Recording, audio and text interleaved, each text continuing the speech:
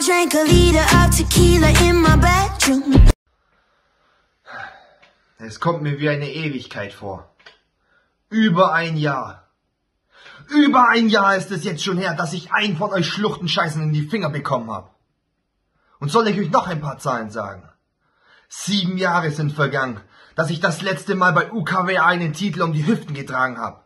Und diesen Titel habe ich zusammen mit Juvenile X über 364 Tage gehalten. Und am 10.7.